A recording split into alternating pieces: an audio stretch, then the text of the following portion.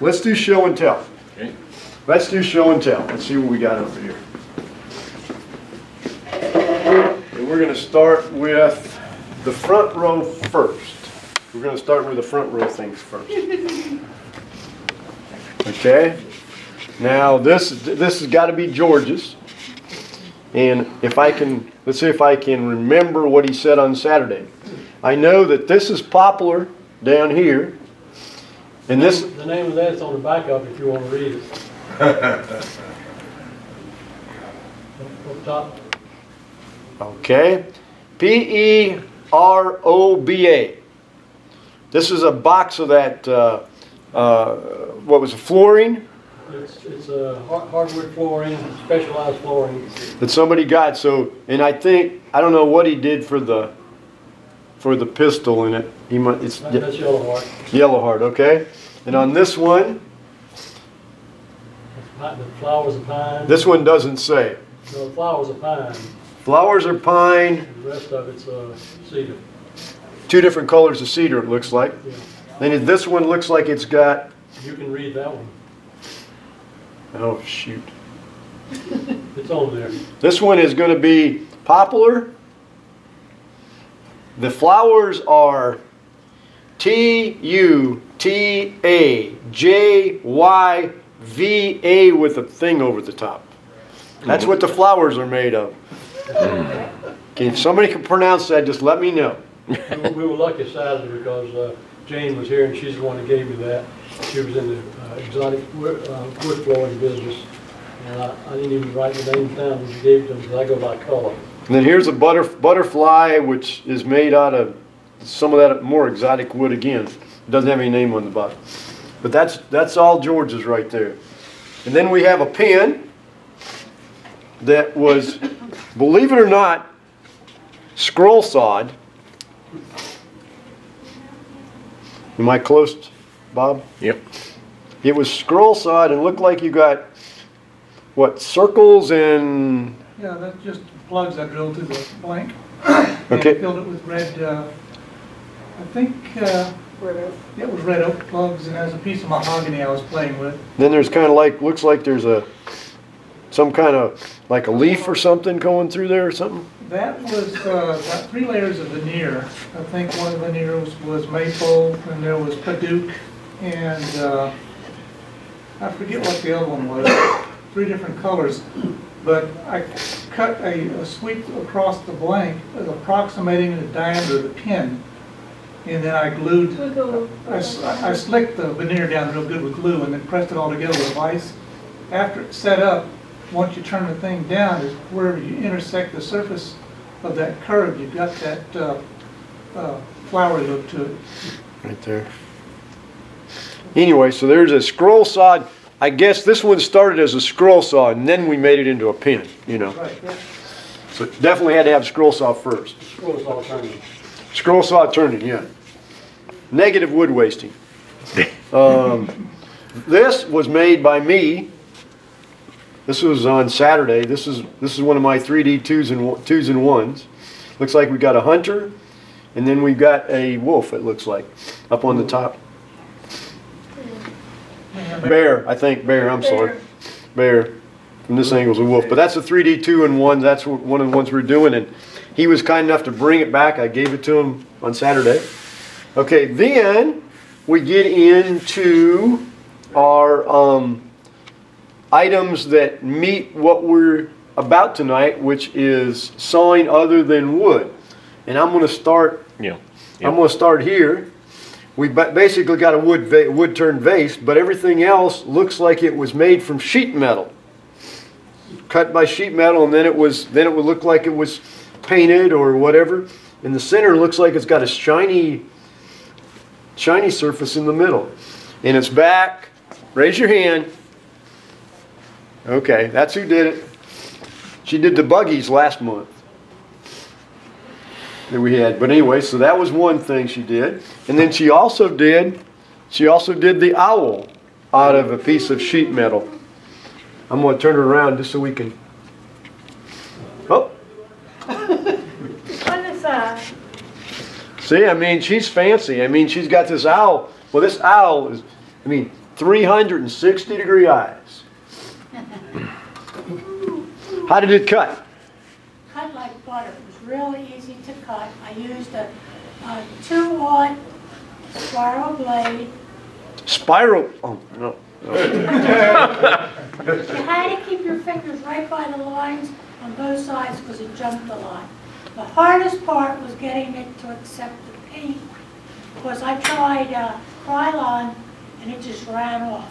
Okay, I would think some of my things of doing it, somebody else may have some suggestions. If you take that after you cut it, if you were to take vinegar and paint vinegar on it, then that changes the, it changes the texture of it and let it dry. It'll take any paint then afterwards. That's just my normal, I mean, that's what I used to do. Now, does anybody agree or disagree with me? Yeah, but I'm just saying, what it does is it, it has, it has a reaction. The vinegar is enough acidic acid against there that won't hurt it, but it, it, it does something to it so it'll allow the paint to stick to it. Okay. In the gutter business, you call that bonderized. Something that the bond, the paint will bond to it. Like say you take bluestone and dip it, or muriatic acid and dilute it. Yeah. Anything to beat the galvanization. He's, he's, see, he's the expert on that. Okay. Many, many years ago, gutter, everybody put up galvanized gutter and it would peel. So then they came along, wiped it down with vinegar. But Yeah. put copper and you don't have to worry about it. Right. But what I'm just saying, but if you're doing, like I said, that, that may, try that the next time and let us, let us know, let us know if that works. Okay, then, our, our gutter expert made these two. He made this one, I believe, on Saturday. Um, I used the, I laid it up for him and I used some cardboard that wasn't, wasn't as strong as it should have been. He had a di- more difficult time doing it. He in turn went home and did this one using quarter inch, using quarter inch boards as his backing, right? Did you cut more than one record at a time? Yes.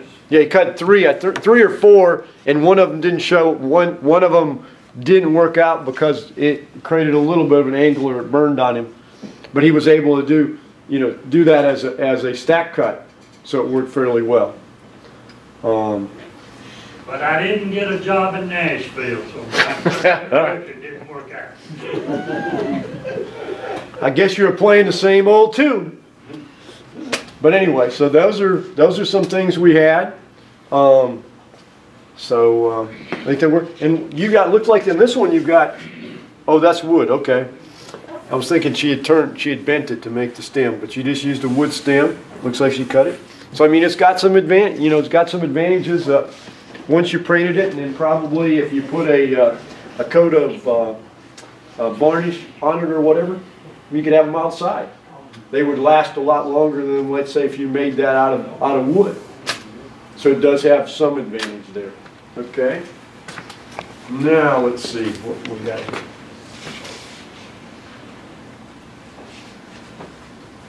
Okay, boomerang box. Boomerang box last month was won by Rob, who of course is not here, but he brought his boomerang box. He got it to me. So it's here. He knew he would catch grief if he didn't. If it didn't boomerang back, okay?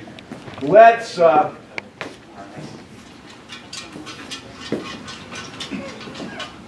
pick one ticket out of there for me, please. Thank you.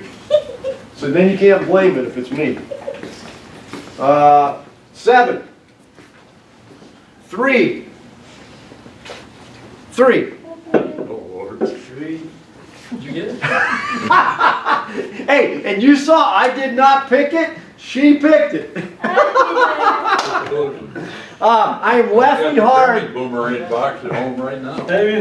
He, he You drew the get busy. boomerang box for the turners at the turning meeting.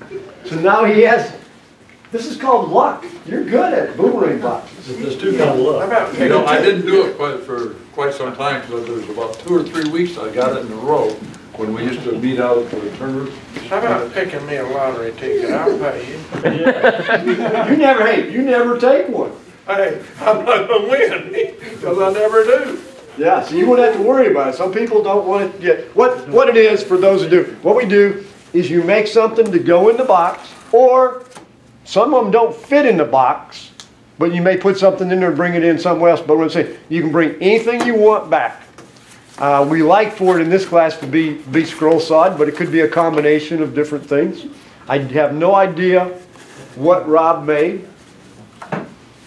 We'll see. I don't believe he made anything. Hell, yeah, he did. Yeah, that is something. Oh, Napkin holder. Napkin That's a holder. nice one. Look at that. scroll sawed napkin holder. Thank you, blade on that. Hody. So now it's his responsibility for the month of March, That's. April, to bring us, bring us something back in the boomerang back. That's okay. I'll be harassed if I do. But anyway, so that's what, that's what our boomerang box is. Swap the two. Oh, I finally got something in that other boomerang box today. I said, no, I'm free and clear. And then Hans comes into the picture. Hey, I didn't draw the ticket. I had nothing to do. It's all her fault You back threatened there. me when, when I came in tonight. Yeah, I said I was gonna try to, but I didn't think it would do that well. Yeah, yeah. Took your ticket and put it on top. No, she reached underneath and got it. Okay, um, now, Rob's not here, but we're gonna adjust Rob just a little bit.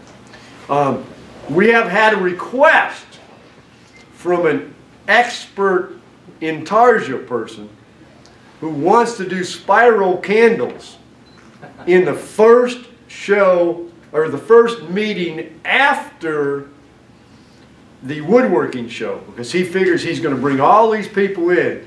So I'm going to let you do a part, and I don't think Rob's going to have a problem. You'll do because we were going to do Christmas in July, and I don't feel like doing Christmas in July in April. So part of our Christmas in July was going to be ornaments, spiral candles, and wine glass holders. So I'm just going to move spiral candles out of that and move it and put it with scroll saw pictures. And so you will have it, so month of April will be, will be spiral candles and scroll saw pictures.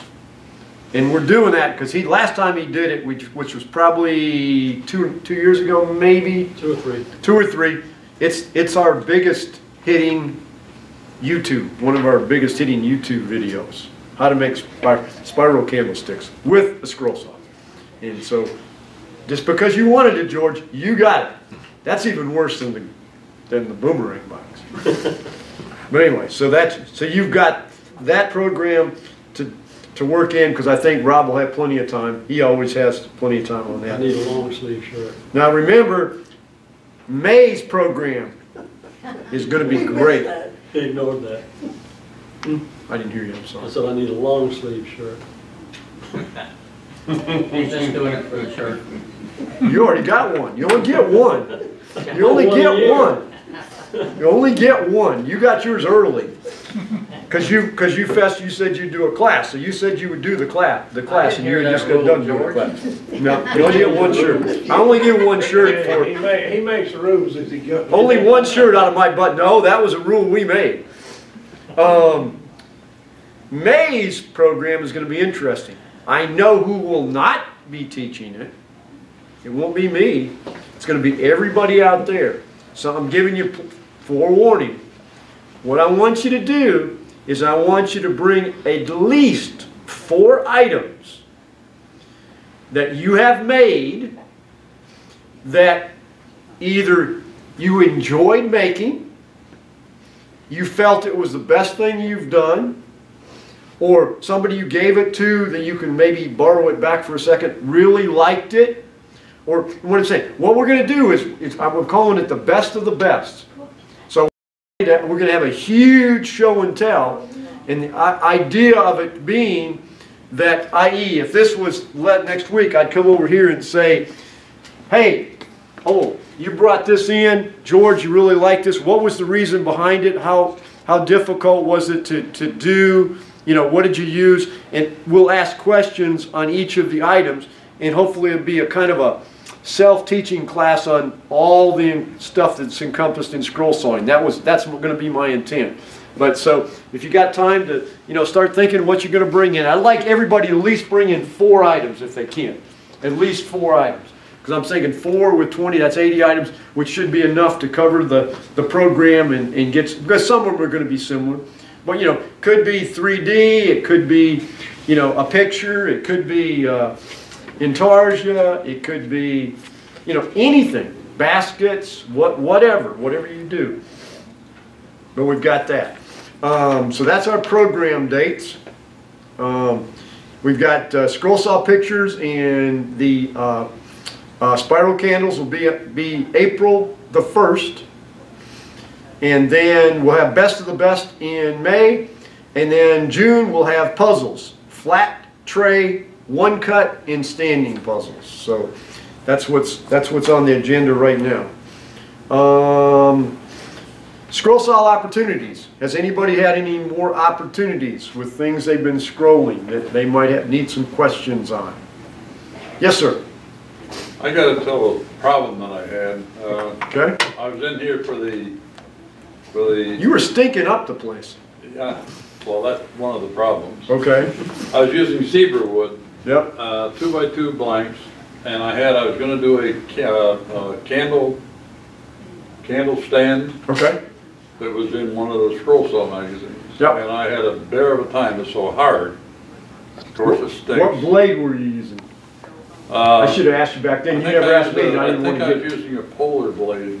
Probably should have been using, like I said, because you. Well, The interest- George, George said I should have used a larger blade, maybe a number nine. That's what I was Well, gonna say too. I was gonna say, had because you didn't have anything in, intricate, there wasn't anything that intricate in No, that pattern that you could have used a, you could have used a seven or a nine Polar and your job would have been, and then I probably, I think you did though, didn't you wrap very heavily with tape?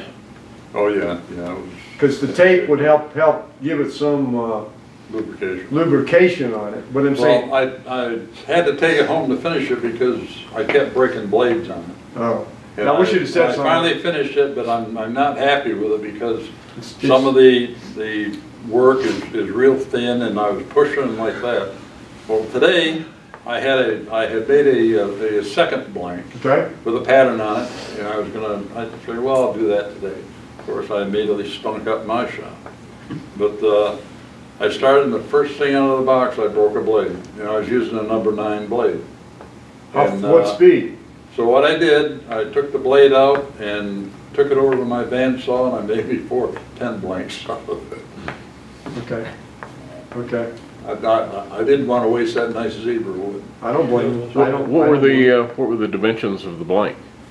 Two by two Two by two. by Okay. six. Two by two then? You were very- pretty close. He was at his maximum. He was at, Yeah, yeah. he was at the max on the saw. The, uh, the pattern's two by two. Yeah. Okay. So I, What I- what I if a didn't- spiral blade would have worked out on that? Because it takes out more wood, it's a possibility. that it might- Possibility, when, I mean, I mean, remember I got in the boomerang box, I got that, um, what's that black, what's that blackish wood? Remember, um, Ebony, no, it was not ebony though. That's that stuff that, it was that, African blackwood. but remember that's the one that, uh, Rob used. And he cut that, remember he cut me a basket? Remember he cut me a basket with, out of it and it, it was, it looked like it was a dark, it was a darker wood, but it's hard as a rock. But he cut it with, a he's cut it with a spiral blade. Hey, Dick, what, what kind of blade were you using? He was probably Was it a using, Flying Dutchman blade? yeah, Yeah, Next yeah, I only get my blades from. Next time, just run down to Home Depot and get a, um, Olson blade with Vermont American, uh, that's all Olson's. Try that, Ultra? yeah, try that, it'll probably work. Okay, Because the Olson, they have a little bit wider cut. okay. gives you more kerf, gives you more kerf. And the Okay. either, it'll, it'll clean up the, uh, the sawdust easier. Being that thick, Okay. give it a shot. Okay, any other, any other helps What on do that? they have here? Do they have, O- don't they have Olson's? Yeah, they probably have them They here. have Olson's here. They think they have Olson's on Front here. end of the building. Yeah, Yeah, but, you know, If that helps, let us know. yeah, okay, and, uh, a spiral or regular? Just regular. just regular, Blade, What, what number? Get a reverse tooth, number, get a reverse number nine. What- what bigger the number? better. Nine R. Nine R, nine R. Okay. Okay, any other, uh, questions or comments? Okay, now, I know we know Marcus did vinyl. We know you did, um, metal. metal of some sort.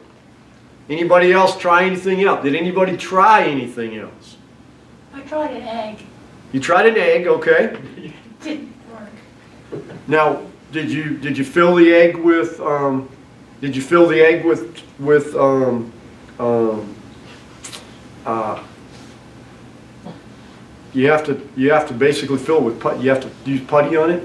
You have to have, a- you have to make it, because you don't have a flat bottom, you've got to make yourself a, I've used like a sponge for underneath. may not, okay, may not have been strong, it may have, it may. No, it just cracked. I mean, I, when I drilled the hole and then okay. I just couldn't get it. Because I did, I didn't bring any, I, I forgot to bring my piece in, but I did, I did, I did shell. What size blade did you use on the egg? Two, If you use a metal cutting blade on the eggshell, it works fine. like what number? Um, the smallest you can get. Okay. Go- J- Jeweler's There was blade, a place down on Buford Highway called BFF, or JFF, called Just for Fun. It's a jewelry supply company. They had small jewelry. jewelry blades work pretty good on that. Now, I used, I used just a regular, you know, nothing fancy blade, I used, used them on a, uh, on a, on a seashell. But what I did is I filled the seashell with uh, clay. Okay, and then I just, I was just free, free cutting just to see if I could cut on it and, you know, cut about, I cut about at, narrowed it down about six or seven, speed wise, and, and it cut fairly well. You have to do the corners a little bit, not like I normally turn my corners. You gotta do them a little bit more gradual and turn them. Anybody try anything else? He tried, okay, and he brought some stuff. Like Corey, Corey. I mean, he cuts, how many people have cut corian in here? Okay. If you've never cut, if you've never cut corian, corian to me, if you have the right blade,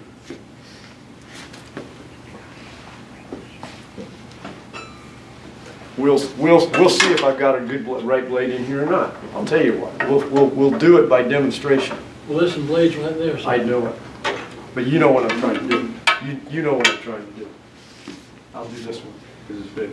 George was kind enough to bring some in here, so what I'm gonna do is I'm going to cut this, and I'll see, gee, I really can't tell what kind of blade I have on this. I'm really ignorant. So I'm gonna use this blade here, and we're gonna see what happens. What we're gonna do is put this blade in here. Oh, and I've learned, I learned on an email today that if, if you tune the blades up correctly, they mess with George's hearing aid. And that came straight from George. Okay, let's see what we got here. What's blade? No, it's an unknown.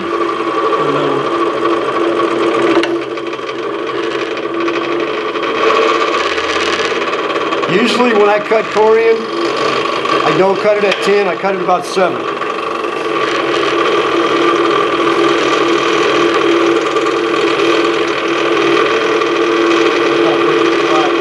The biggest problem I have with you, if you, if you haven't cut corian, is if you stop, before you stop, back up.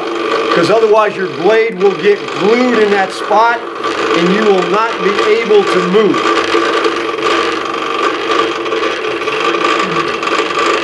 Something tells me I've got a wrong blade in here. Okay, what I have, and I know I have it in here, is I have a reverse tooth blade. And reverse tooth blades do not work on corian tile. They do not work on plexiglass or anything else because what happens is it, it, it glues, it glues itself back. Ah. Even, even your corian blade will do that if you use a small blade. Yeah. I use a number seven for everything, even a little tiny print. I found Because- polyresin does the same thing. Yeah, so what I'm saying, if you use, so if we change this over and George was, ki- Polyresin. George was kind enough to bring us, bring us a blade here, I'm gonna use a seven. I use a seven, or I use a seven or a five, I Over mean, reverse. No, No, that's pole. corian, Polar blade. polar blade. You need it going one, you need the teeth going one direction. It doesn't get hot, but like I said, that blade doesn't look long enough. But, um, the one thing I found out though, if you're cutting and then you stop, make sure you back away from where you were because every what'll happen is one of the teeth of the polar R will get hung in what you're trying to cut. And then when you turn it on next time, it just breaks that blade just immediately. You, you know what I'm talking about, right, George? What- Up in a V shape, up in no, what I'm just saying, if you're, if you leave, if you cut and you happen to stop, even if you're going a straight line, I mean, in, in, because the blade gets. See, the hole, Just melt back. the hole melted back, I think. There it is. There it is. But now, if you haven't cut corian, when you cut corian with a polar blade, You'll, you'll love it. It comes. and you cut it, you cut it at about a speed of, speed of seven. Seven out of ten, I mean, a seven will do the best. That speed, I mean, you can go faster, but it, you don't gain anything. But it will cut so much better and it's it's like cutting butter. It's, it cuts so well. The other caution that I would give you is you want to make sure if you've got any air draft in there, you want to make sure that the air draft is going away from what you're breathing. Don't ask me how I know that. Just wrap it around it. Yep. Ooh, that is cutting nice. Now see, that side is, that side is, is basically cut now. This is the side that was already cut with that other blade. See how it's glued back together? But now this piece, when I cut, see that piece is loose? See how it dropped through? Mm -hmm. Good tree color. Yeah, Marcus's tray. Okay, now, but from a standpoint of cutting, it cuts no different than a piece of wood.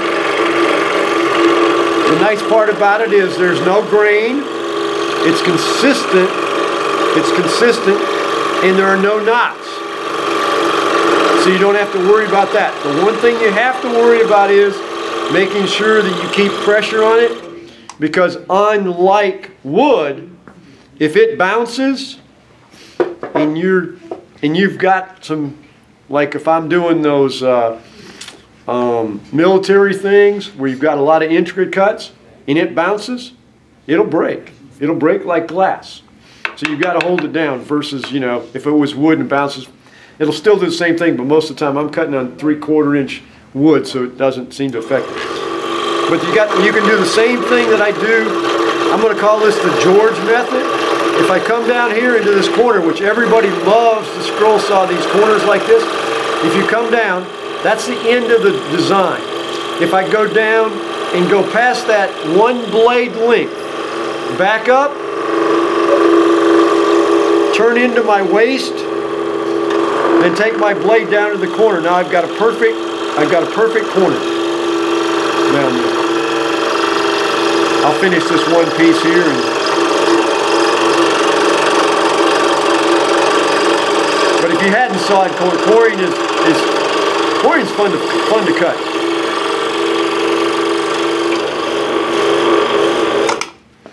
But uh, the uh, nice part about corian is because it's countertop. If you're making trivets or something and you're giving them to people, you know, if they if they use them as a trivet and they get gravy on them or something. But see, if you look at that edge, you can't tell. You cannot. Pass around and let them feel. Yeah, well, I- he's on the camera right now, so I don't want to take it away from him too. I'm learning. I'm getting better. But anyway, Slap your side of the head. If you feel it, it's it's just as smooth as can be. Even though I was just a Corian blade, Smooth as corn. you can feel feel on the inside of that, and you can see. But what I'm saying, but as I was trying to say is, by using Corian, Corian has the ability that you can you can put it in the dishwasher and wash it if it, if you used it as made a trivet out of it. It also can do about 130 130 to 140 degrees of heat. Okay, so therefore you can put a pan on it and it's not gonna scorch, it's not gonna, like if you had a piece of wood and they put a very hot pan on, scorch, cause it's countertop in it and you can put it, so they make, make a very good trivet. They make a very good trivet from that standpoint. Um, and George has made numerous ones and you've seen them and I didn't bring any of mine, I didn't wanna, I didn't wanna bring too many, too many of my stuff. But anyway, that's that. Now, um, And I've got, I've got a good bit of corian at home. Also, I've got pattern, all kind of patterns. So anybody's interested in trying it, I'll be glad to give them some corian and the pattern. yeah. Where do you generally get your corian? Different places. I started out, started out with a place in southwest Atlanta that uh, cuts, cuts out for sink tops. He was giving the sink tops, and I think they found out they were worth something, so they quit giving them to me. And uh, then we had, a- I had a lady I was doing some work for that uh, said that she would see what she could do, and she came by one, called me one day and said, can you be, be up at uh, some of that Ball Cross on Saturday morning? I said, sure. She said, well, there's a company up here that's moving, and they said anything they leave, we can have. Huh? And uh, we went up there, and we loaded two pickup Huh? with a corian. And uh, my It's- wife's been complaining ever since about it stuck in the yard. We've gradually, we've gradually gone away. Now, the interesting part about Corian is, it used to be, what they would do is the installer would install it, and they always had to cut out a sink, dry sink, or whatever, okay? Then when they cut it, when they cut it out, what did they do? They didn't leave it for the customer, the Corian, they didn't want to leave it for the customer, because they, they had to clean up. So then, then they'd put it in the back of their truck. Then they'd get back to their office, well, they, they wanted their truck clean for the next job, so what did they do? Take it and threw it behind, because it was Corian, they just threw it behind their, behind their shop. I mean, so a lot of shops will have stacks this, this high, 10, 12 years old when the, when they were doing a lot of corian. And the trick is, it doesn't affect it at all. I mean, I got some, I got some that was white corian that, I got some white corian that was uh, at Georgia red clay as you can get. Just run it under the faucet and it washes right off. You should have seen the lady that uh, found that for me. She was a real classy looking lady and we got up there and she was climbing over in a dumpster pulling stuff. I wish I'd gotten a picture of that. But anyway, so it's, it's fun to cut. If you had to, now, every once in a while, if you get some of the newer corian, corian is a, let's say corian is a name like Kleenex or like Scotch tape. It's a generic, it's a generic thing. You get some corian because of the pigments or the composition, the engineers in this room could probably solve it for me, but what I'm saying, if you get, let's say, a pink corian, some of the pink, pinkers or some of the colors, when you cut it, it may not come out like you want it. If you get a, like I said, if you get a red corian and you cut it, it may come out pink because the, the uh, composition they use on the internally doesn't seem to work the same way as, as on the top sometimes. So, and the same thing if you did, did a blue, blue corian, it doesn't come. But it, all these things that he has, these are the old standby, you know, these are the standby colors here. And all of these will, all of these cut, cut perfectly, there's not a problem. Now, oh, the other thing you need to be careful when you're drilling it, don't get alarmed. Because if you're drilling these with, in, oh, everything on Corian can be done with any woodworking tool. So like I said, if you got, got this done and you wanted to put a round, you wanted to put an eased edge on it, you know, you could put it on your router table and, and turn it, it won't, it, it won't affect your, it won't affect your blades. It won't, it- what I'm saying, after a while, it may, what I'm saying, it. That stuff won't bust? Oh, no, no, no, no, it's, it, it, it mills just like, I mean, it would, Just like a board. Just like a board, it mills like a board, mills, mills probably like a, you took a piece like that and dropped it on the floor, it might break, yeah. yeah. I mean, it's not gonna break just normal. But it's not gonna break if you're on the sub. But the one thing I found out when you're drilling some of it, when you're drilling it, if you don't, if you drill too fast, it'll pop. Will it'll pop out bigger on the back? on Yeah, other but I'm side? saying it'll pop, but it's gotta drill, you just gotta drill easy, you know, drill easy and let it, Steady. real steady and just go through. But a regular drill will drill it. So, I mean, if you haven't done it, it's fun, it's a fun thing to do. Uh, I don't know, between Jordan and I, we've probably drilled the most, you know, sawed the most corian, I think, and Marcus, Marcus, Marcus has sawed a lot of corian. not as much of it is available nowadays. Why? Because they're using marble and granite for the, for their, for their um, countertops now. But What there's, about that artificial marble and stuff like that? Is that like corian or something, or can they? to a use certain that? degree, some of it, you, you just have to get some and try to see if you can cut it. I mean, that's what they say, say in this book too, is you just have, you have to get one, get a piece and try it. Like he brought in, he brought in a piece of glass, okay? And then he brought in a piece of, I'm gonna ca- say tile, glazed tile, okay? As you can see on the glazed tile, I had a, I had a, uh, reverse tooth blade in there, whatever was it, whatever the blade in here that I was cutting the corian with, it cut, it cut this with, didn't have a problem cutting it. I just didn't want to chew up too more, more of his tile, but I'm saying, so you could put a pattern in this and, and truly cut it. Now, it has a tendency, because this has a glaze on it, it seemed to be chipping that glaze, but it probably wouldn't hurt if you were just doing it, maybe if you wanted to do a star pattern out of here. Now, sometimes think about this, it may not be so much that you want to make this to give, but let's just say you were trying to make a stencil, or in, in, I've got a lady who does pottery. She does a lot of pottery, so she, she does a lot of stuff where she uh, flattens out the clay and then she presses stuff in. I'll make something out of a piece of, you know, piece of corian or something for her because she can push it down. You know, it'll run through it. If, if it's not real intricate, she can take my corian and she can put it in that, that thing and go like this and run it through a machine and get a very good impression. You know, that when she does it and then she fires it and does it and it, you know, she takes my, takes my stuff and uses, use, every time I turn around, she takes my things and staves them in the wood. But, uh, so that's what she does there. Um, now, uh, I tried this glass. Uh, Yes, sir.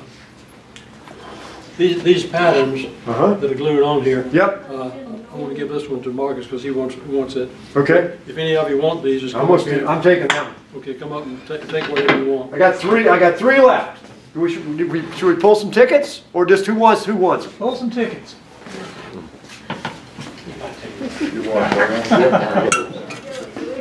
Plus that'll give you something, something to work on at the show. Already pulled your number. Hey, you won't get one. Yeah, yeah. Seven, you- would you like one? Uh, well, why don't you give them, give them to them? What would If anybody- If anybody else wants one, I mean, if we run Here, out, they want who wants one? Who wants one? Alex. Well, well, draw the numbers. What do you want? Give one to him. Give one to Alex. You want this one? You want one, which one you want? Angel or chicken? Rooster. I got an angel left. Who hasn't done it yet? I'm not ready for it yet. Try some wood, just. I think you will. I think- You you can do it. What do you, oh, you got the angel? You got the angel. No, he needs the chicken. Oh, You got the angel. But any of you want Corian or, or the pa- pattern chart, I think all of you probably have my email address. Let me know and I'll, I'll, I'll get it for you. This place down the street down here wouldn't have corian. They'll have corian. Crossing down to the left down here, cause we got our countertops from them, and I, they, they probably have corian. It's, it's worth stopping by to ask them what, what do they do with the cutouts. What they cutouts. do with their cutouts. I mean, I hate to say it, I'm, The sink pieces? Yep. they Oh. carry- Like he said, they carry them back and throw them away. yeah. didn't carry mine out. They didn't? No, they cut out, they had to cut out for a stovetop, and they had this piece that was about this big, or this big. He started to walk out the door, and I said, you believe that, I paid for that. Okay. But see, see, like what they're doing now with a lot of them, a lot of them are doing now, They do cutting board. what they're doing is, is a lot of, with the, the people are doing the, the granite or the what's called, they're making, because there's special tools that they can use, and they're taking that cutout and just rounding them and making, making Cut out, cut, uh, They're making, Cutting board. well, they're making cutting, well, or what they're doing, if you really think about it, they're smart. What they're doing is here, ah, here, just set your hot pots on top of this. Even though I know your counter worked great, instead of them putting the hot pot right in the middle of their new counter, just put it on this. So they damage that instead of their new thing that they just put in, you know, when, just in case, you know, if it was too, too hot. What I'm saying, and so they're doing a lot of that and making it kind of, oh, here, we're gonna give you this extra. But like you said, you've paid for the whole thing, whether they, whether they, it's a hole in it or And I not. wasn't even scrolling at the time, but I saw that beautiful piece and I said, you're not leaving. Had to be something you could use it for, yeah. You see how narrow it is? You can still make a pen out of it. You it. can make a pen out of it. Oh, hey, I cut, I have made pins, I have made chickens, I have made, who, who, somebody dared me to make, what did I make? I- I made a puzzle, I made one of my three-dimensional puzzles out of one. I mean, I've cut, anything you can cut with wood, you can cut on that one, okay. Now, um, we did it at the last class. If you take wood like this, this is wood. But if you take this and take two of these, take probably thicker paper, like I'm gonna say construction paper or thinner, or nice thicker paper, and you put, put a batch between it. You could put 50 sheets, okay, between it. So you're making a sandwich, okay? And then, let's pretend this is a sandwich. Let's say I got other pieces in here. I think I showed this before, but for those that haven't. If this, let's just say this is a sandwich and I've got other pieces in here. If you take this, it's not that difficult. If you remember the old fashioned when you were growing up, kids, remember how you, mother and dad used to wrap your presents? The old fashioned way, they didn't go this way to this way, they went the corners. And if you basically take blue tape and go the corners like that, it's amazing how well that sandwich will, will stay together. You know, if you cut the corners like that. Okay, so now what you have is you got a board, a board, and you got that paper between. Let's say you wanted to make some uh, fancy, uh, let's say placeholders for a Christmas party you were having or some kind of party. Put the design on top, treat it no differently than you would another scrolled piece or fret piece. Drill your holes.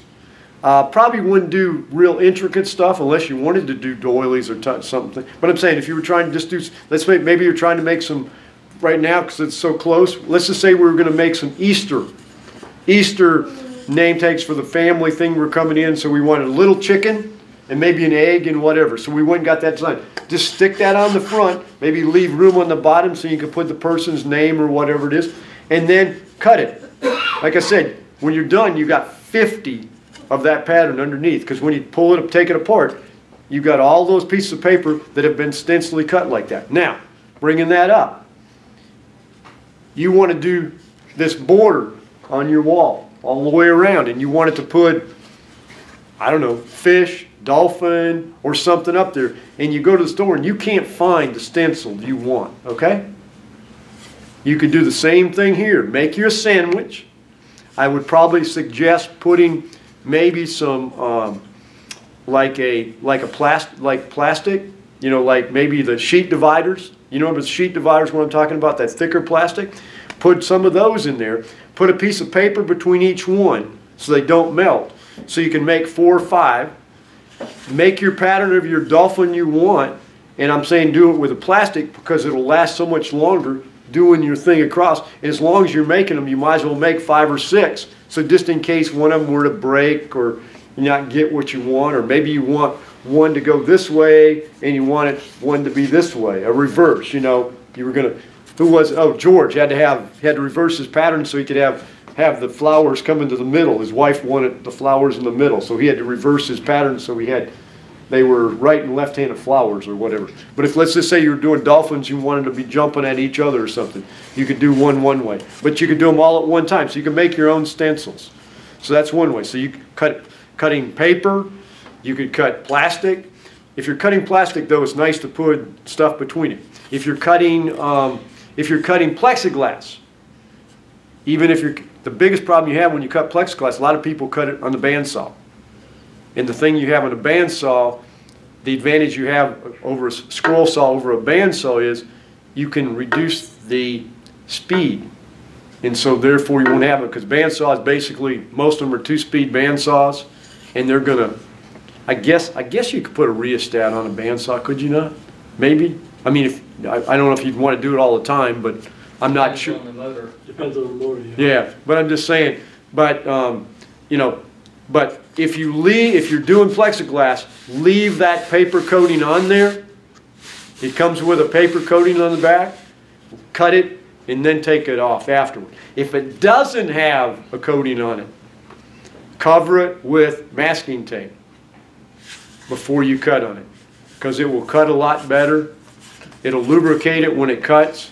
It'll come apart easier, be better, you know, when you cut it on here. So, uh, we got some plexiglass. Remember, somebody brought some plexiglass? People took pieces of it. Remember, it was about that thick. It was like quarter inch, quarter inch plexiglass. Yeah, he brought a bunch of it in and I had, I got a bunch of weird You know, stuff. Ralph, Ralph was doing a project for Big his project son, with- I think it was. It was all plexiglass Whole bunch of, stuff. whole bunch of pieces for his race Um, cars and he had, he had a bunch of, I believe it was polycarbonate though. Yeah. Sounds to me like you could make do with some peel and stick paper. We use that stuff at work all the time. Yeah, but it, but the expense, but the expense of it is, is, is tougher. I mean, I do, I make patterns a lot of times, and I've given some to George, and George has used it. If, um, what works really well, I use it sometimes when I'm doing a lot of little stuff. Like if I'm doing a lot of little things like maybe the chickens and all those things where I really don't care, but I don't want to be messing with glue, I'm doing a demonstration or whatever, I'll do them on label paper. Eight and a half by 11 label paper. And then what I'll do is run it, and so that way you can just put it on. Now, George has used it a couple times when he, when he didn't want to get his glue out and didn't want to get his stuff out, and he had it, and he just needed to make one piece or whatever. It's got some advantage. He doesn't like it, to- but I'm saying, it's not something you use all the time, but it, it has its things. So, so basically you can stick it right on, and it stays on, and you cut your piece off, and it pulls off pretty easy. Yeah, every once in a while, I can get my hands on the offcuts that work, Yeah, and I've got a box full of it at home to play with. yeah. But it works What- well. The only thing. Material, It's label paper. Label paper. okay. Label thing. The only, advan- only advantage of eight and a half by eleven, you can run it through, run it through a laser printer or, you know, whatever it is. If it's offset, it's, you're gonna have, you could draw your stuff on it, but it has a tendency to work. Now, I cut, I cut some coins. Anybody cut any coins? It's illegal. No, it's not. That's the first That's thing. I, I, I grew up with that idea that you could not disfigure I think it was at one current, time. current, uh, Okay, let me, let me read. And I'll even read you the statute, and you can go out and read it. This, this, this is titled, this is titled, Yes, It Is Legal.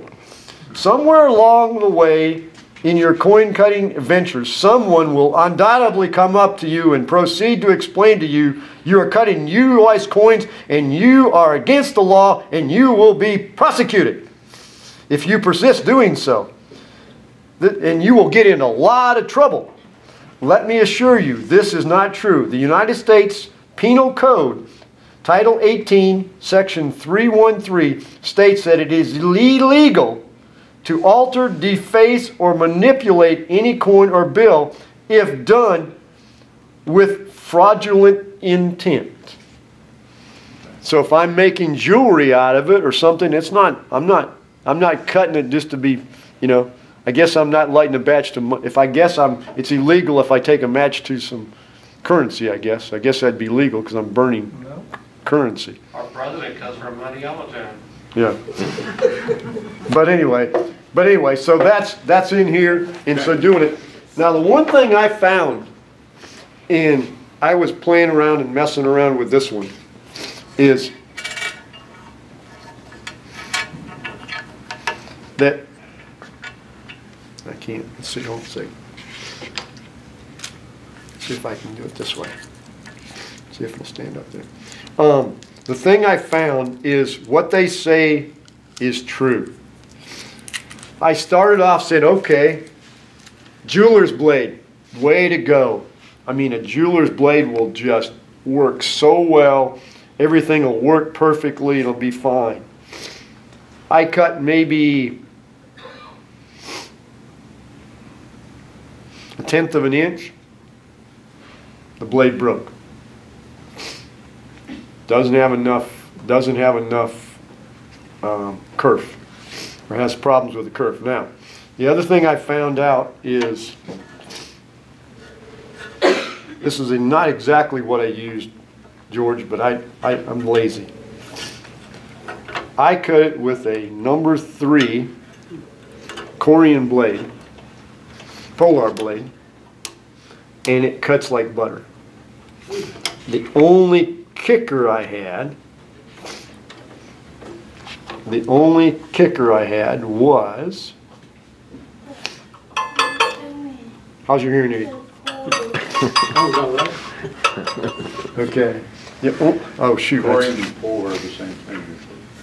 It's pulling. Yeah, I, s- I should have said polar blades instead of, I should have said polar blades instead of Corian They blades. used to have two different blades and then they decided. The hardest part I had was, and I screwed up right now, I probably need to, I probably need to fix it before I go on.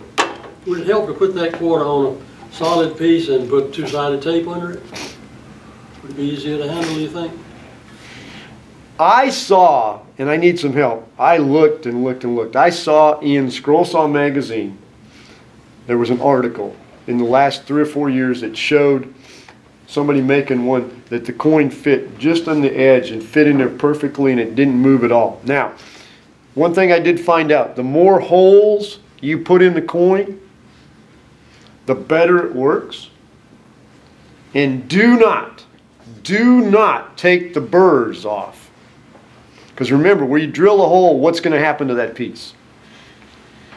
What's going to happen to that piece where you drill a hole? There'll be a burr on the bottom of it. Yeah. But what's going to happen?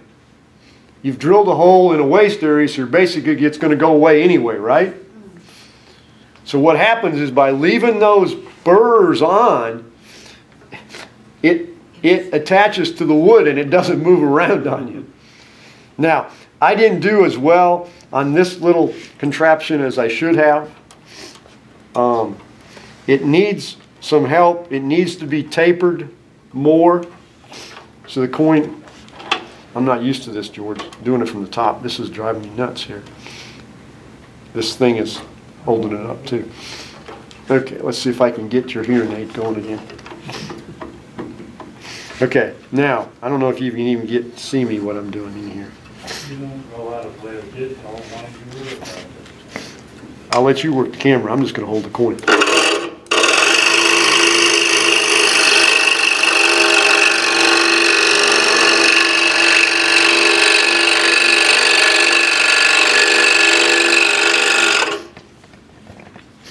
Now, you notice I have good fingers and I hold a lot of stuff very, very tiny and hold it. Don't hold a quarter. It burns. It hurts. It hurts.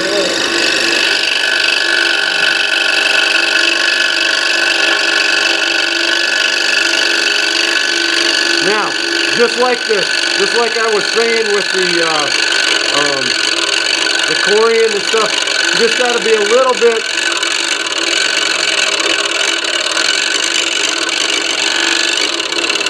What they call it, you drill a flat hole.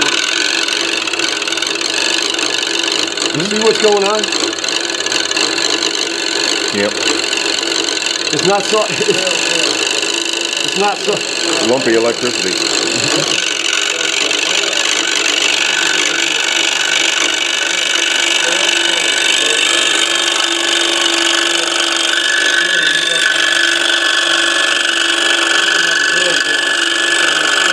Drills a flat hole. Huh. If you, if you cut, cut a piece, say three quarter inch thick, about this big, and drill that down the same size as before, and then put some two side tape and I bet it would hold real good. Yeah, what I'm saying, that's I the. was sitting here thinking that, that glue you stick the wood and stuff together, why couldn't you glue the thing to that piece of wood you're doing there, and then you take the, What is? because when that stuff sticks, going on? sticks.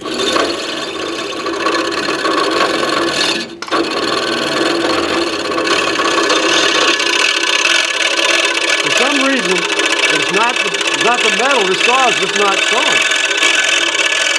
It's, it's fluctuating.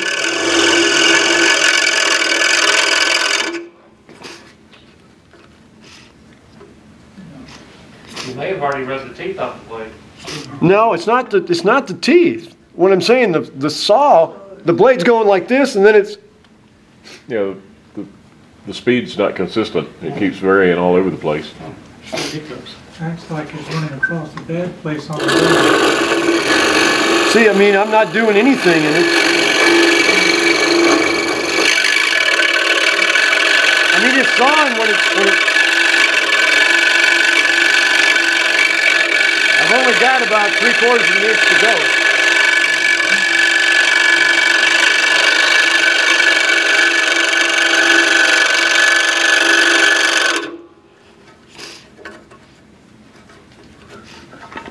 All I'm doing, this is basically two pieces and it's friction, it's friction held. And it, it does work, but, you know, there's gotta be a different way to do it. I just wanna, I just wanna finish this one piece.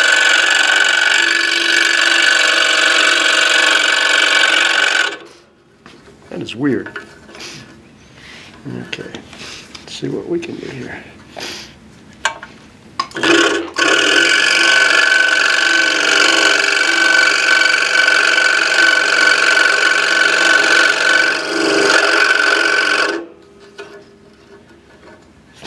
Basically what I've got is a hole on the top and a hole on the bottom so I can see and also so it you know effectively makes kind of a holder but it's okay but it's not the best.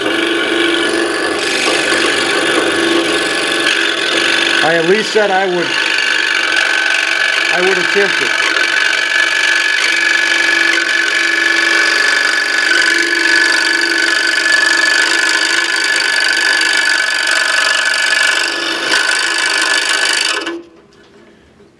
Come on, baby. Almost got his head cut out.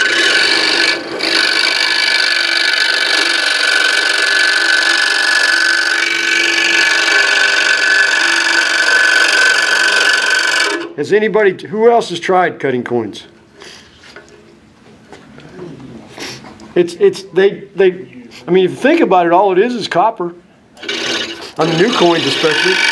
And, and there are a lot of options. The nice part about it, there's a lot of options from the standpoint with all these, with all the uh, state quarters and stuff. You can mix, Make quarter, not, not copper. this one is, Pennies might be. this one's copper, Even copper? sandwiched. Yeah. It's It's a sandwiched. sandwich, yeah. This is, Oh, yeah, yeah. the sandwich, I mean, the, the, I guess the silver that's on top is very, very, very thin.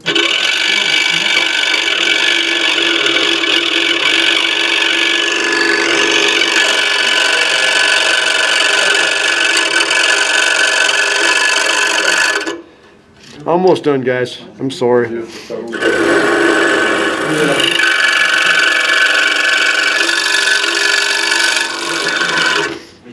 Okay. Now let's see what I did. See what, see what damage I did. Did you get it all cut? Yeah, yeah. But I tell you, that was the funniest.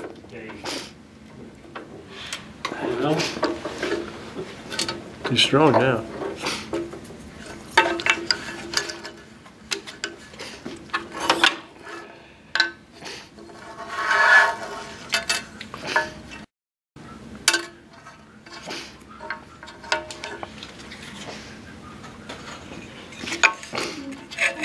See, I'm learning this camera stuff. That's pretty good.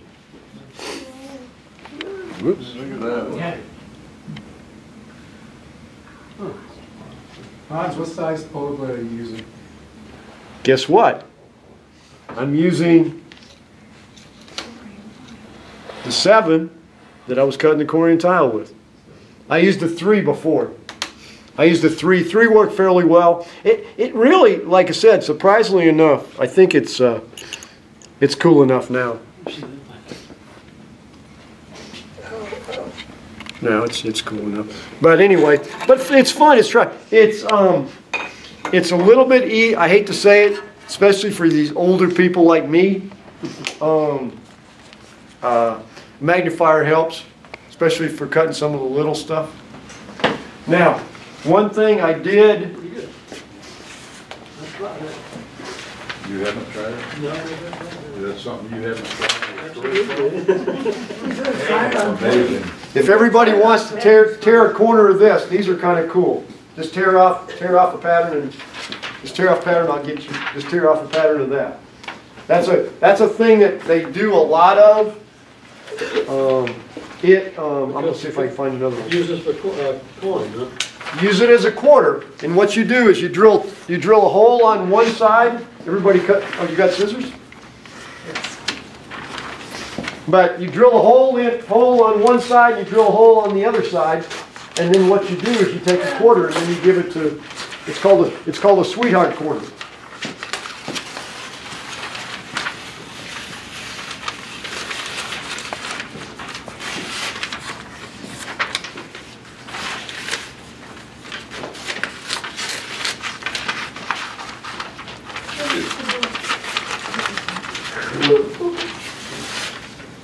Everybody get one?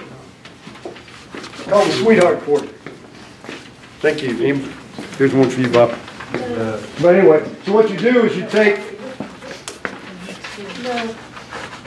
you can't basically come over here, Send him out a name. Mark.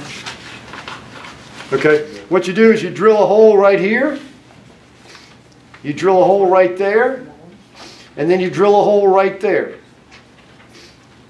Good. Okay? Where is it yellow? Okay, huh? You drill a hole right here. Then bear with me a second. Drill a hole right here, and you drill a hole right there. And in those two holes, you drill them so you can put a, a ring.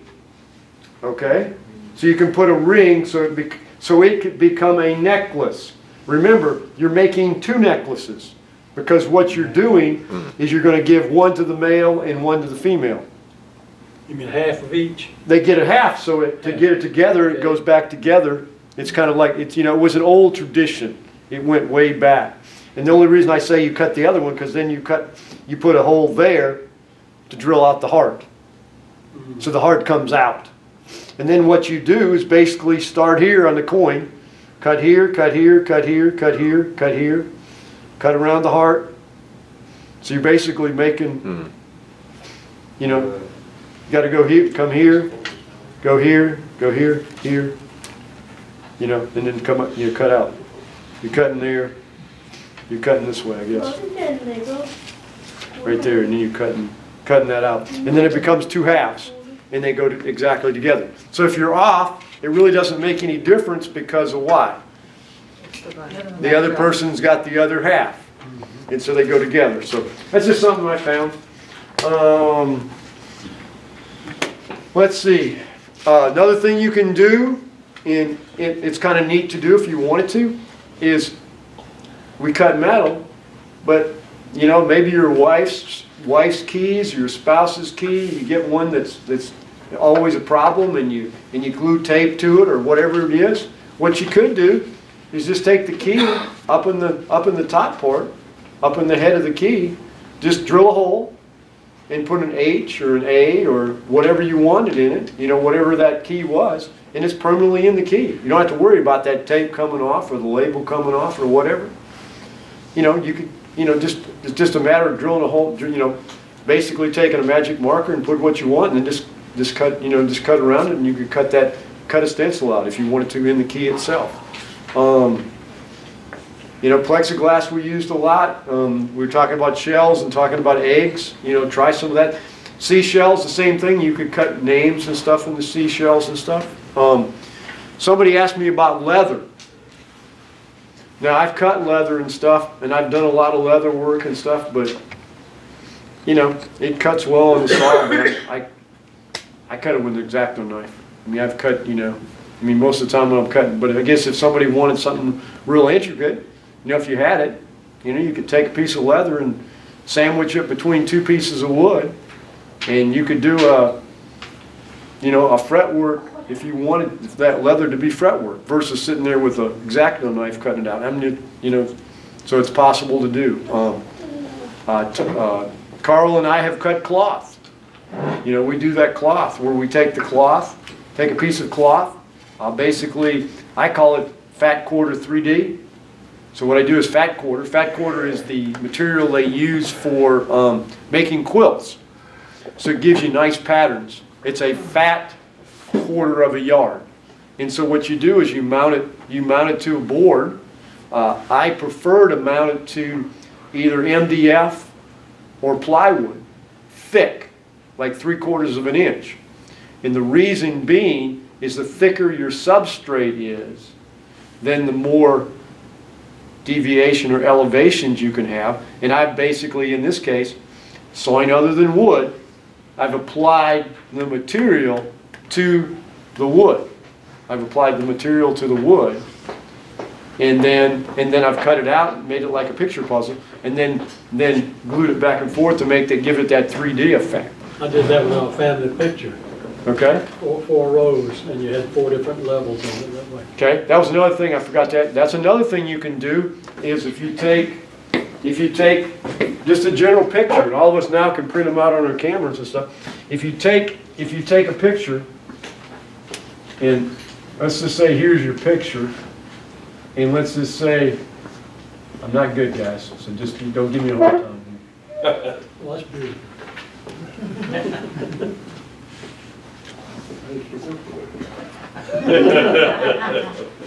They're armless too. But anyway, so what you could do, what you could do is like George was saying, what you could do is take this picture and then what you could do is cut it out. So that's cutting a picture. You could take it and probably take your picture and mount it to a quarter inch board. And then what you could do is cut it out so the, so the background goes back and the front goes this way. And then what you can do is, if I'm looking down on it, you can take you a piece of pine, and then what you can do is route some grooves in it, if you wanted to. So instead of, like I'm doing the three-dimensional, um, doing the cloth, and I'm moving it in and out, I'm basically, I'm not losing contact with the, with the other pieces of wood. In this case, what you can do is you can move the background and you could put it in the back slot. Put the, put this person maybe in this slot. You could put this person in this slot and that slot and that, and it- it'll give it a more of a 3D effect. Let me show you what I was talking about. Okay?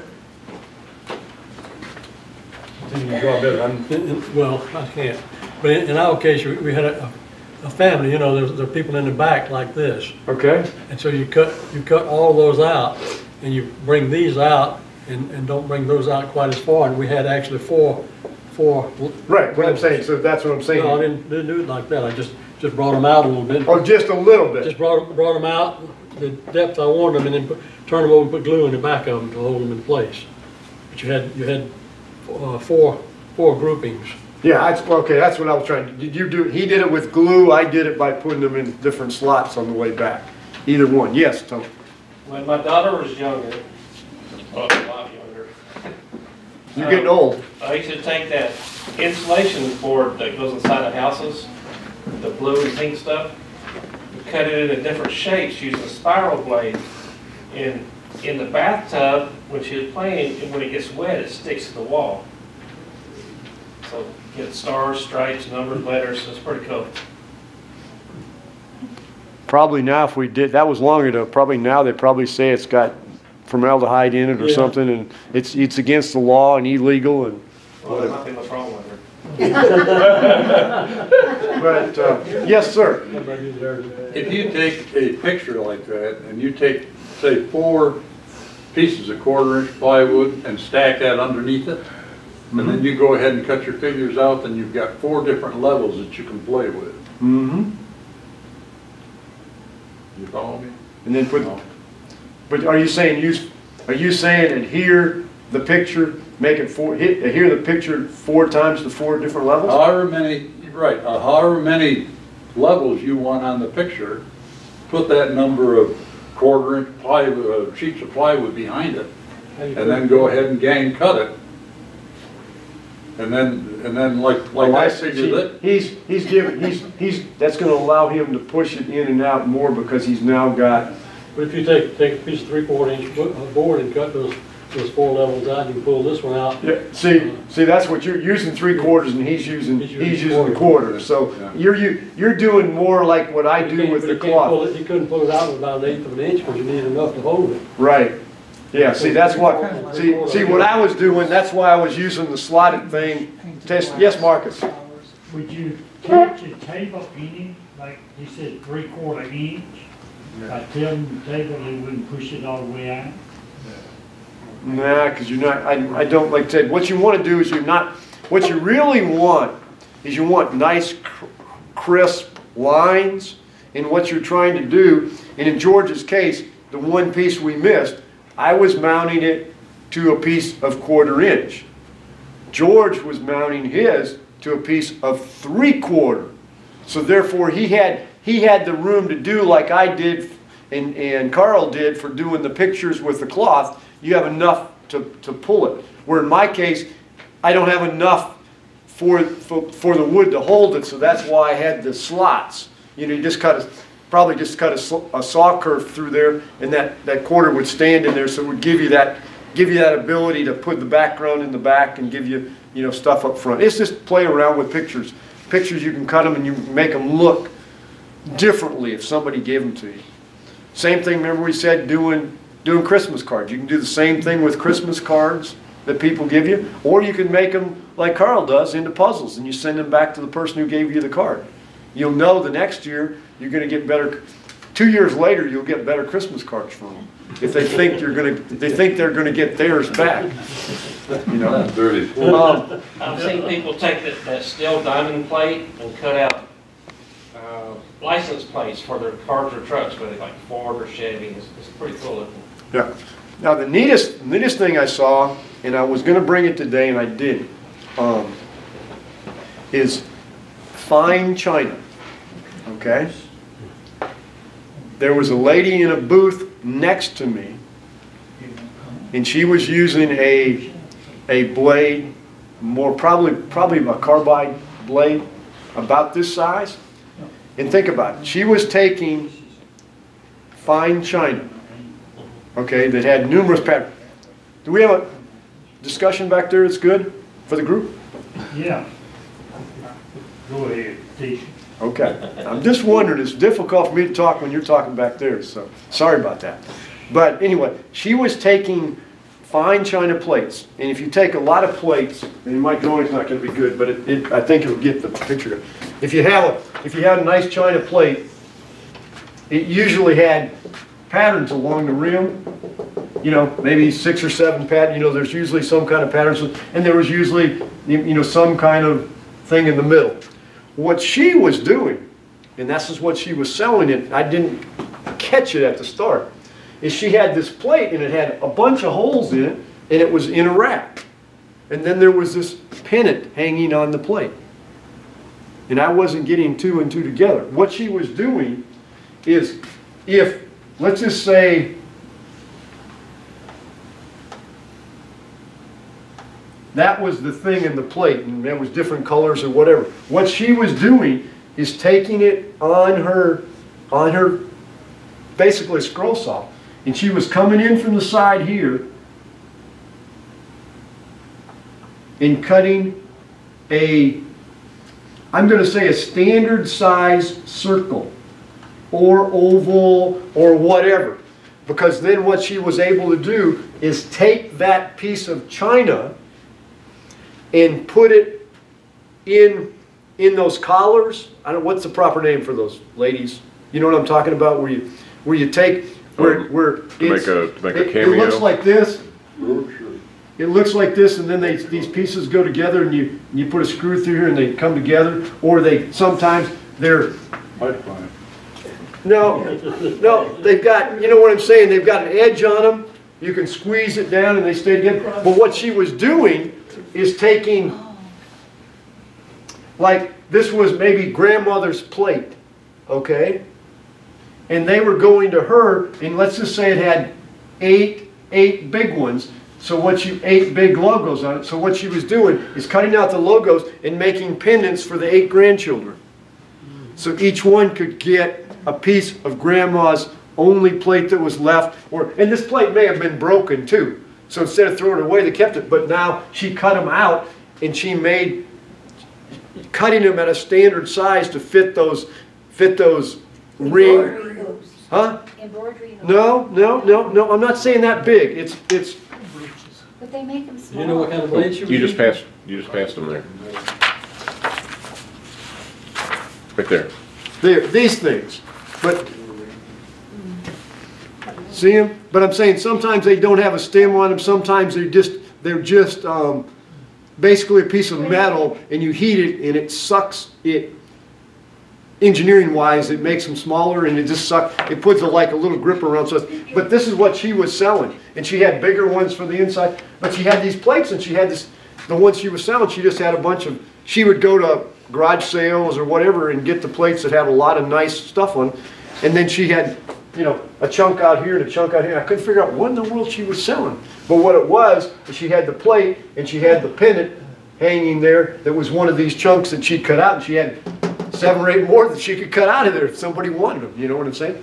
But that was cutting something other than wood. Did you find out what kind of blade she used? She was using a carb, she was using a thin carbide blade like this. She was, she was looking at my saw because she was using a saw that wasn't as, as accurate as, you know, I was cutting the screw. She was thinking about seeing if she could do it. She was cutting it with a, some kind of jeweler, some kind of jeweler's saw that they had that was, you know, but she was doing it.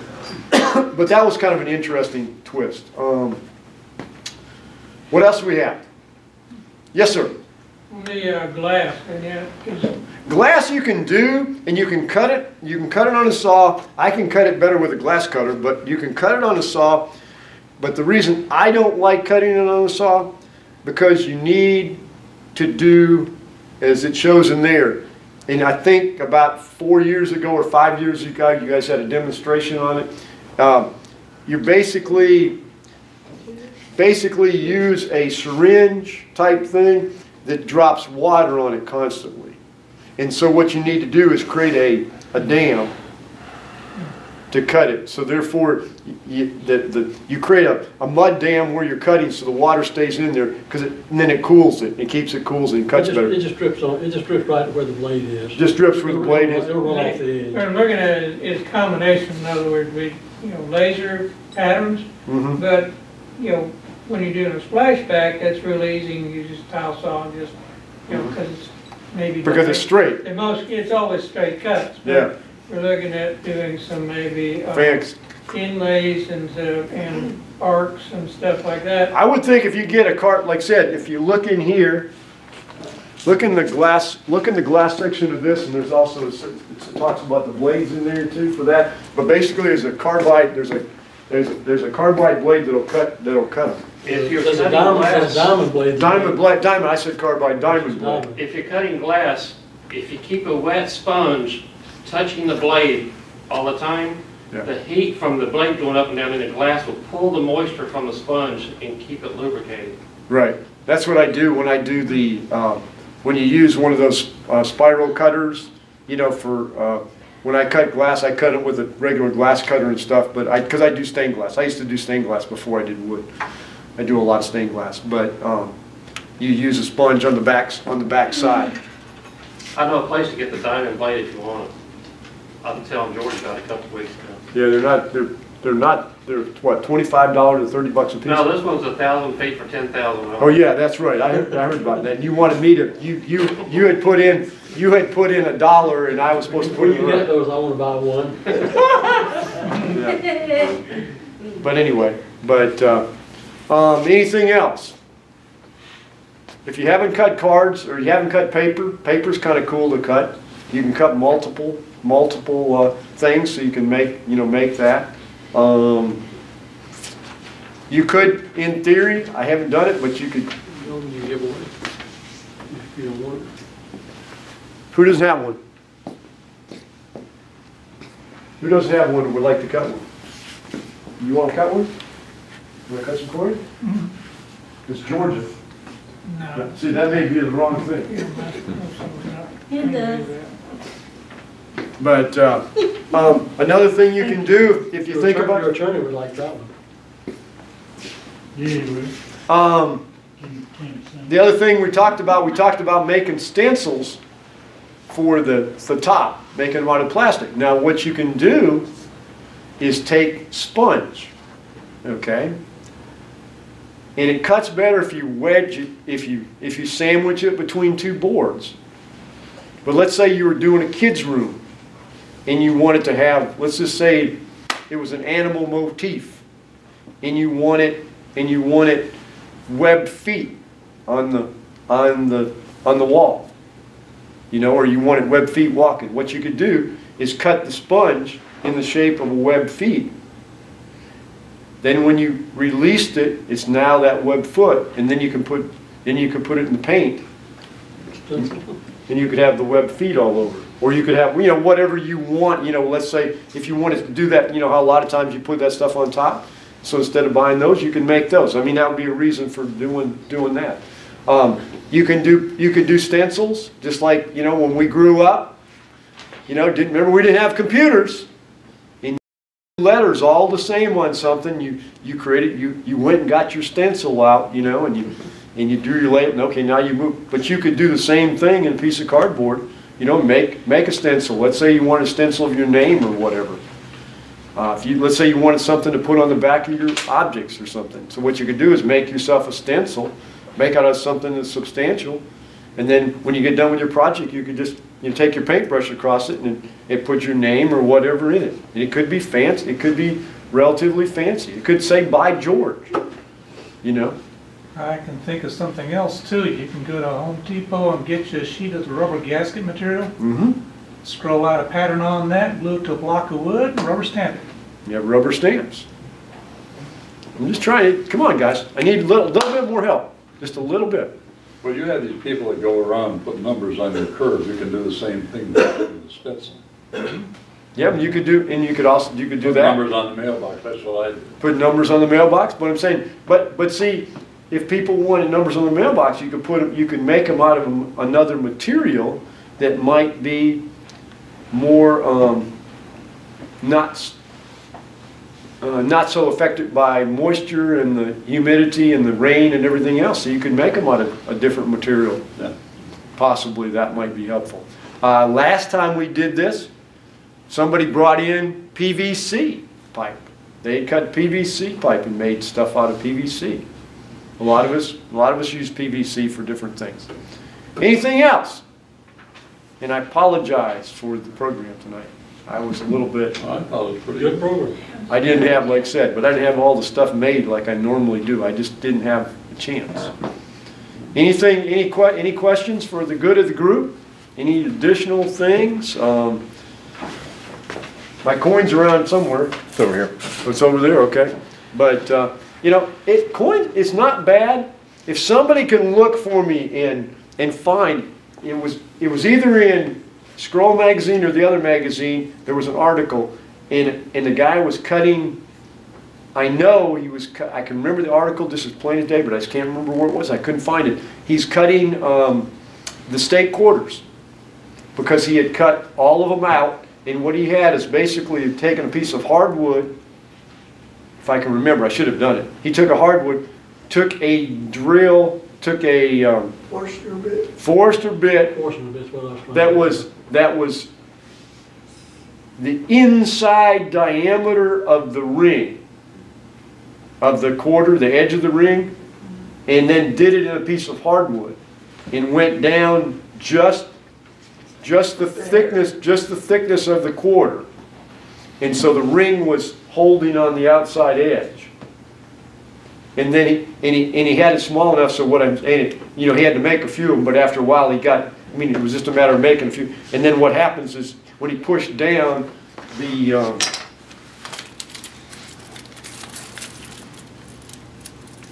if I got one.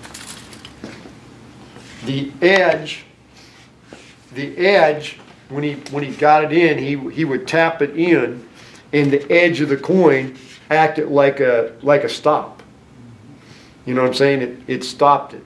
Because what he would do is he would, you know, if he, let's say in this case, he wanted to do, this is North Dakota, so he did the buffaloes on the back.